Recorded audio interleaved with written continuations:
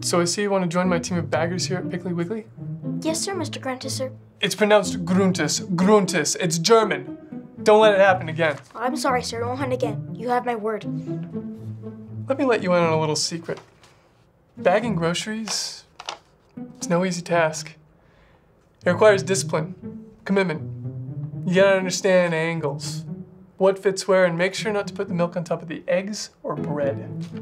Speed is key. I think I can handle that, sir. We'll see about that. I'm sure this is your first paying job. No, I have a job, actually.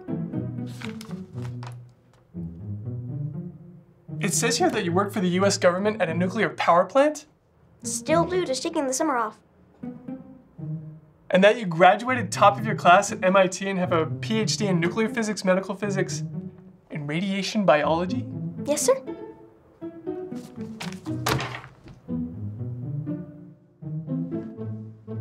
Am I being punked?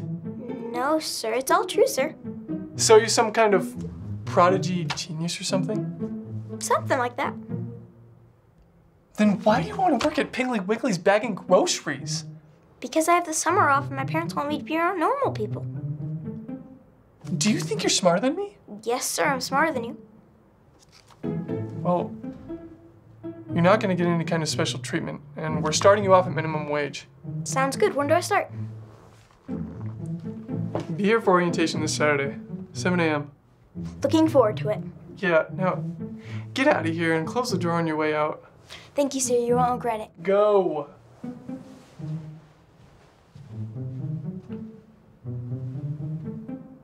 I know I'm being punked. There's got to be a camera around here somewhere.